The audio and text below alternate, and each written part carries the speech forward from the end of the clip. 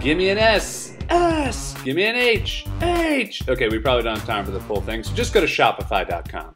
As someone who takes a lot of photos and makes a different video every day, I've tried a lot of tripods. Some tripods are just way too big and clunky. Other tripods that are compact compactor, well, just kind of cheap. And some tripods are just way too small. And just when I thought I'd never find the perfect tripod, Manfrotto arrived with the MK394H photo video tripod. It comes in a nice carrying bag. Ooh, let's check this thing out. When it's fully collapsed, the MK394H is just 20.08 inches long. That's good for carrying on a plane. Perfect for DSLR cameras, this tripod can hold 7.72 pounds. Right on top there. Safely too. At its maximum height, the MK394H is 56.3 inches tall. It's not too bad. I'm a little bit taller though. And at its lowest point, the tripod gets down to 14.17 inches.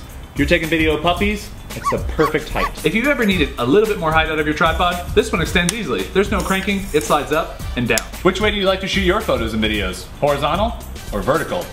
Or the other vertical? You have options. Most tripods don't give you the ease of doing a panoramic shot. Well, this one goes 360 degrees, just like that. I just did a 1080. Yeah, it can do that. Check out those leg angles. Mm -hmm. If you want to use the tripod that I use, grab the link to this one in the description below. It'll give you 10% off and make sure you check out all the other awesome products from Manfrotto. And maybe the other shirtwares too. They got some fun stuff as well. Use the promo code WARN all month long to get two months free on Shopify.com.